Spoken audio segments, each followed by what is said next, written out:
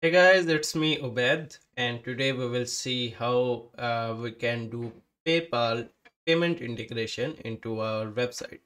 And I'll be using um, HTTP calls, API calls, uh, REST API calls, so that you can replicate in any language you want. Okay, let's see about it. Okay, so we are uh, in our PayPal account. You have to uh, log in, obviously, paypal.com. You will see this kind of dashboard, and here uh, you can explore uh, things. Uh, you will get a developer option on uh, navbar, or you can just search for developer PayPal and you're there uh, that will be a website. They will ask you register yourself as a developer and you will enter into the developer dashboard. But first of all what uh, we have to do is uh, explore the uh, pay and get paid option and we want to integrate the checkout functionality. So we will uh go there paypal checkout and we will get started with it. Okay so there are two options. One they are saying uh invite a developer or like custom built sites and like that but we want uh to generate code snippet and then add it to on uh, our website right? So we will choose this one uh and continue with it okay. Here we will get uh, even their tutorial but i am here to make it easy for you because uh, i don't think that was uh, easy. Okay so uh, run in postman. I will use uh, postman to uh, show the api calls. Then i will show that in the python also. So run in postman. You have to fork the collection and while this is uh, forking what we can do is go to the developer uh, dashboard. Here you have to verify that you have sandbox accounts. So you are in sandbox that means uh, a testing mode where your personal or live account actual account will not be used and your balance will be saved.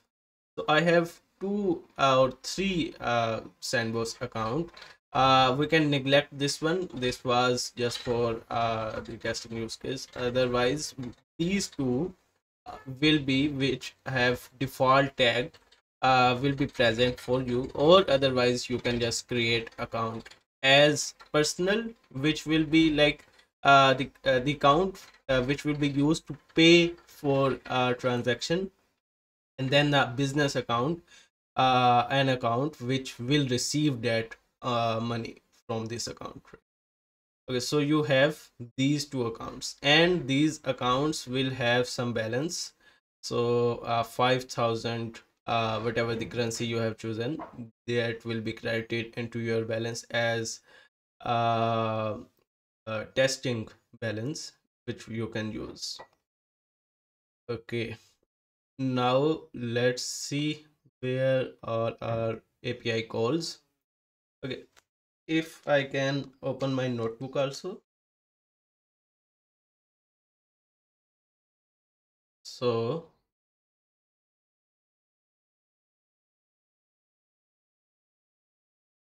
there is uh the first thing uh which we will uh, be using uh is authorization to get authorized to do transaction on and then the second step will be create order. This will be a sequence of steps uh, which we will do in order to receive payment from a customer. Okay and uh, the third will be capture that payment. When the payment is uh, intended by the customer after this step. Uh, let's see how we can do this. I have to fork the collection. Some error occur by okay uh, so uh, uh, i am logged in into my account uh, with the uh, this gmail. So i have this already in this uh, account okay we got two i will delete one. Okay something like this you will get when you fork this collection. And uh, you can see the first step is the authorization. Even they are showing you here how you can uh, perform the uh, capture payment stuff. Okay first let's see how we can get authorized with paypal and uh, start doing transactions so for generate access token i will open this in a new tab. What we are sending this is the base url with the sandbox. When you are doing it on the live after you have tested in sandbox you have to remove this sandbox word and a dot right? To uh, actually do the transaction on your live account. Now we will get a OAuth token and the parameters uh, are nothing. The authorization we have the username as client id the password as client secret. Now where you can get this? So you have to go to your developer account and in app and credentials you will get this client id and the client secret. You can just copy that if you don't have application create app right? Otherwise you will get the default application by paypal already. Okay so uh, client id is here client secret is here. Now what you can do is uh, go to the variables. So paypal apis you will click here you will get the variables tab. Now here the client id and client secrets are being used. So these ones are being currently used as this. So auv8 but ours is different right? So what we can do is copy our uh, client id and i will paste it here. Even the current i will change and the client secret i will do the same i will secret it's copied and I will paste it here. Yes. And I will save it. Now if I again open this post request, okay, I am seeing my uh, uh, client ID and secret EDE I think that it was same as AD. Okay, uh, perfect. Let's send it and get our access token.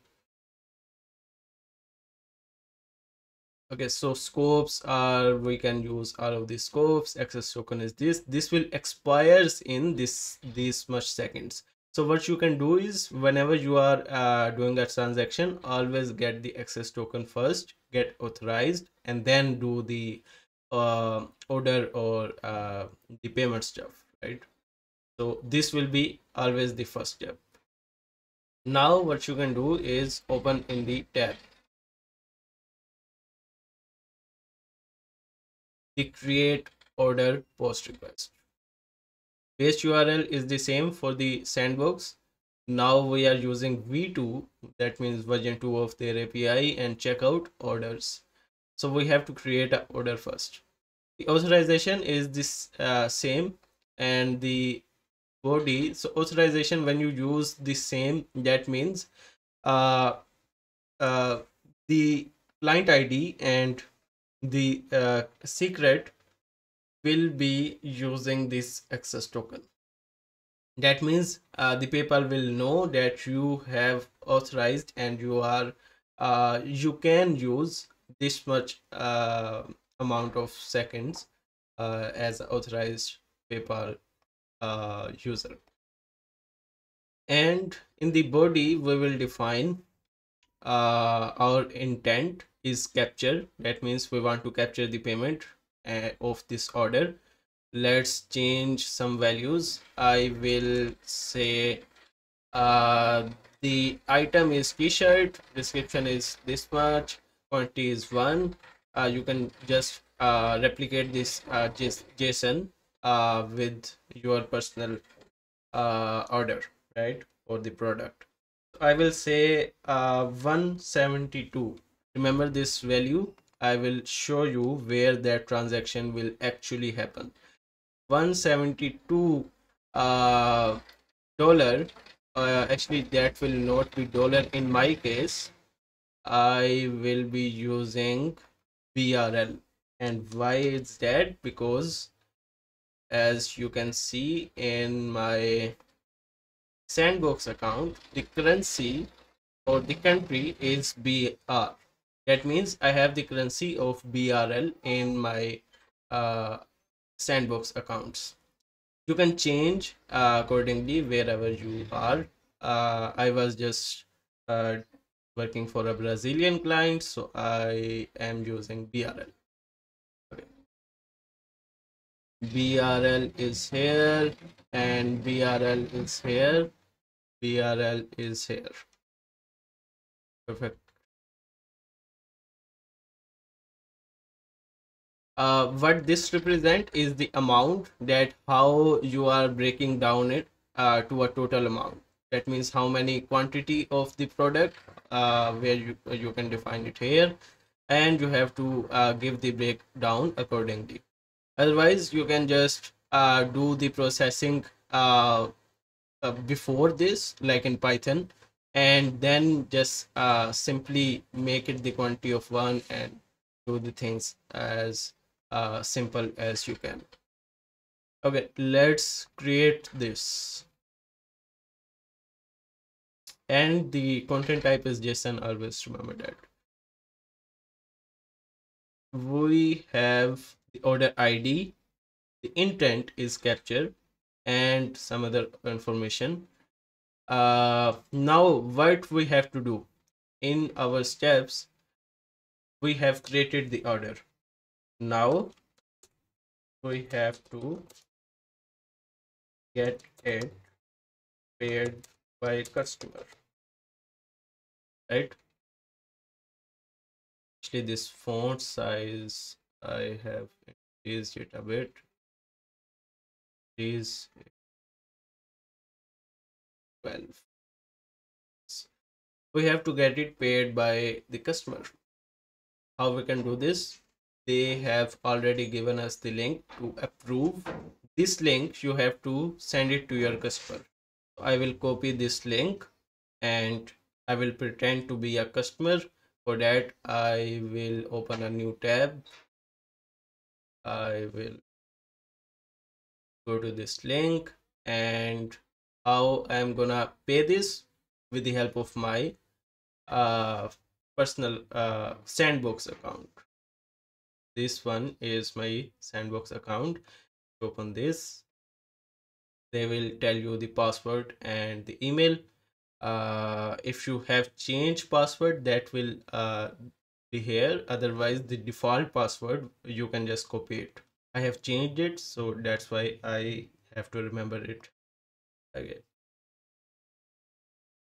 Uh yes and uh, you can see the uh, the language has been changed to brazilian language.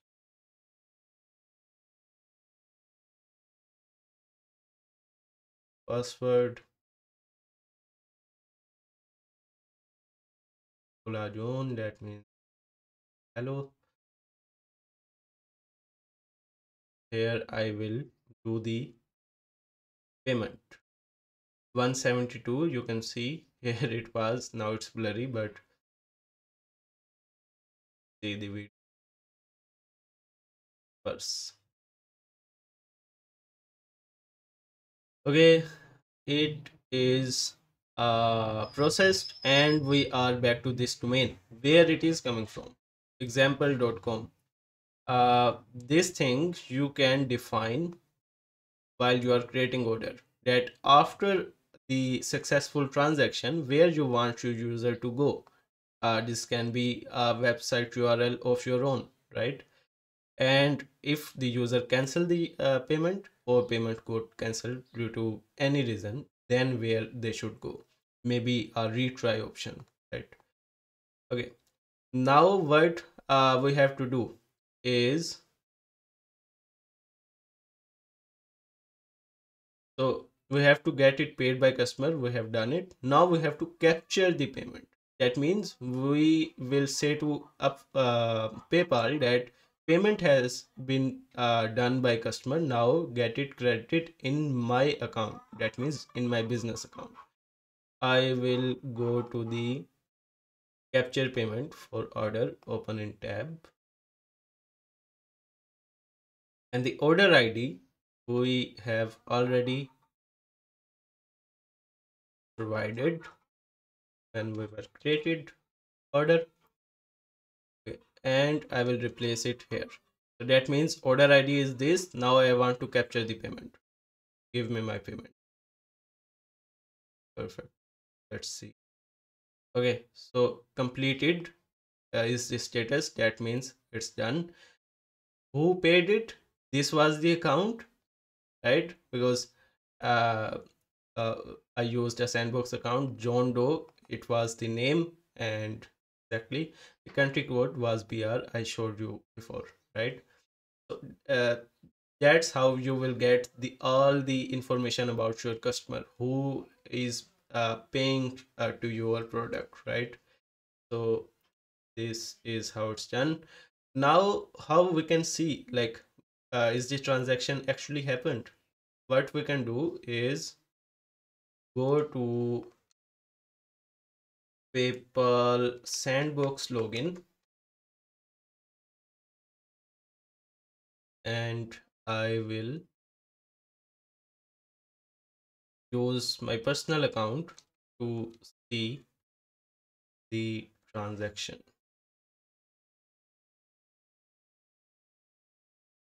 Okay, but 172 is here, right? and it's 29 February.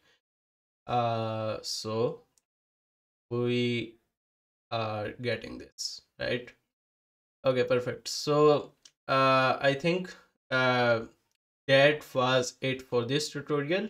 Uh, or if you find anything difficult or confusing, you can just reach out to me uh, directly through the uh, WhatsApp or okay, you have to